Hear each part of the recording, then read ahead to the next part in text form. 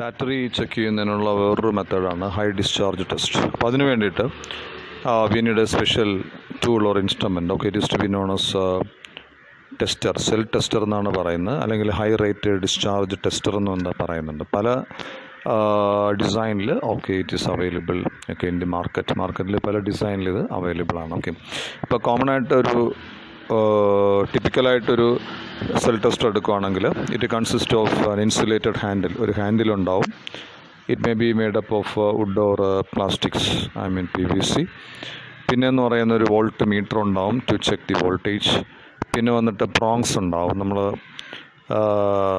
മൾട്ടിമീറ്ററിൽ പറഞ്ഞ പ്രോബ്സ് എന്ന് പറഞ്ഞതുപോലെ ഇതിൽ പ്രോങ്സ് എന്നാണ് പറയുന്നത്. പ്രോങ്സ് എന്നോ പ്രോഡ്സ് എന്നോ ഒക്കെ ഇതിൽ പറയാം. ഓക്കെ ഇതാണ് ടെർമിനൽസിൽ ടെർമിനൽസുമായിട്ടൊന്ന് കണക്ട് ചെയ്യുന്ന പോർഷൻ സെൽ ടെസ്റ്ററിന്റെ ഓക്കെ പിന്നെ വന്നിട്ട് ഒരു ഹെവി ലോഡ് റെസിസ്റ്റൻസ് കാണുന്നുണ്ട്. ഓക്കെ സോ അത് രണ്ട് ലെഗ്സിന് ലെഗ്സിന്റെ ഇടയിലാണ്. Okay in between the two prongs എന്നോ ലെഗ്സ് എന്നോ ആണെങ്കിൽ പറയാം. ഓക്കെ ഇതാണ് നമ്മുടെ ഫിഗറിൽ കാണുന്ന ഒരു കർവ് ഫോമിൽ ഇങ്ങനെ കോയിൽഡ് ഫോമിലിരിക്കുന്ന ഒരു മെറ്റൽ വേവി ഫോമിലിരിക്കുന്ന ഒരു മെറ്റൽ സ്ട്രിപ്പാണ് ഹൈ ലോഡ് റെസിസ്റ്റൻസ് എന്ന് പറയുന്നത്. അപ്പോൾ ഈ ഫിഗറിൽ നിങ്ങൾക്ക് അതാണ് കാണാൻ പറ്റുന്നത്. അപ്പോൾ ഇതെന്ന് പറയുന്നത് it's a important tool it's known as it's called as cell tester it is used for high high discharge test of battery ബാറ്ററിയുടെ ഹൈ ഡിസ്ചാർജ് ടെസ്റ്റ് എന്ന് പറഞ്ഞ ടെസ്റ്റ് കണ്ടക്ട് ചെയ്യാൻ വേണ്ടിയിട്ട് യൂസ് ചെയ്യുന്ന ഒരു ടൂളെന്നോ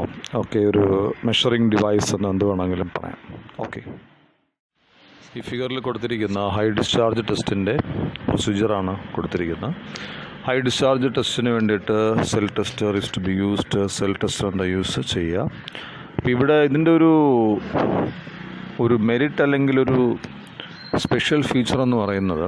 So we can mention the performance of a cells in the battery മുന്നേ നമ്മൾ പറഞ്ഞതെല്ലാം ബാറ്ററിയുടെ ഒരു ടോട്ടൽ പെർഫോമൻസ് ആണ് നമ്മൾ നോക്കിയത്. Battery means it's a combination of a cells ഇവിടെ അങ്ങനെയല്ല ഈ സെൽ ടെസ്റ്റർ വെച്ചിട്ട് അല്ലെങ്കിൽ ഹൈ ഡിസ്ചാർജ് ടെസ്റ്റിൽ ഓരോ സെല്ലിന്റെ ഓരോ സെല്ലിന്റെ പെർഫോമൻസ് നമുക്ക് അറിയാൻ പറ്റും. ഒരു സെല്ലെന്ന് പറയുമ്പോൾ അറിയാം.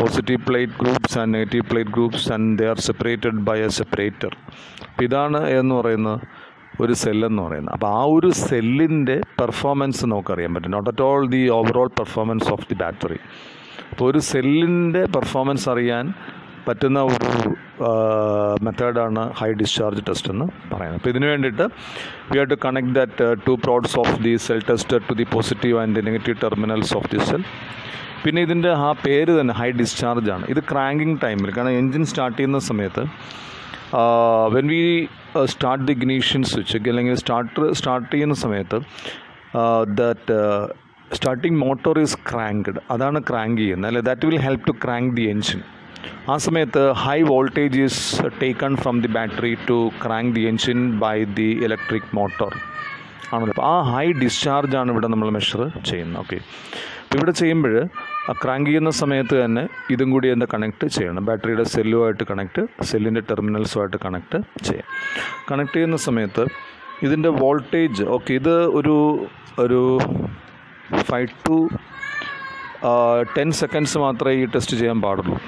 ഓക്കെ എന്നുവെച്ചാൽ ആ സമയത്ത് അത്രത്തോളം ടൈം എടുത്ത് ആ ഒരു ടൈമിനുള്ളിൽ we can get the result നമുക്ക് ഏത് കിട്ടും? റിസൾട്ട് കിട്ടും. അപ്പോൾ അത് ചെയ്യുന്ന സമയത്ത് ഇതിന്റെ വോൾട്ടേജ് എന്ത് ചെയ്യാൻ പാടില്ല? വൺ പോയിന്റ് ഫൈവ് വോൾട്ടിനേക്കാളും കുറയാൻ പാടില്ല എന്നാണ് പറയുന്നത് should not fall the voltage below one point five volt അതുമാത്രമല്ല ഓരോ സെല്ലിനെ നമ്മളെടുത്ത് മെഷർ ചെയ്യുന്ന സമയത്ത് ഷെല്ല് സെല്ലിന്റെ വോൾട്ടേജിന്റെ ഡിഫറൻസ് ബാറ്ററിയുടെ സെല്ലിന്റെ സെൽസിന്റെ വോൾട്ടിന്റെ ഡിഫറൻസ് ഒരിക്കലും പോയിന്റ് ടു വോൾട്ടിനേക്കാളും കൂടാൻ പാടില്ല. അങ്ങനെയും പറയുന്നത് അപ്പോൾ അങ്ങനെ കൂടി കഴിയാൻ പറ്റുക ചെയ്യുകയാണെങ്കിൽ അതൊരു ഡിഫക്റ്റീവ് ബാറ്ററി ആയിട്ട് നമുക്ക് ഡിക്ലെയർ ചെയ്യാനും പറ്റും. അപ്പോൾ ഇതാണ് ഹൈ ഡിസ്ചാർജ് ടെസ്റ്റ് എന്ന് പറയുന്നു. കൈപ്പേ ചിത്രത്തിൽ ഈ ഫിഗറിൽ കൊടുത്തിരിക്കുന്നത് അതിന്റെ പ്രൊസീജിയറാണ് കൊടുത്തിരിക്കുന്നത്. ഓക്കെ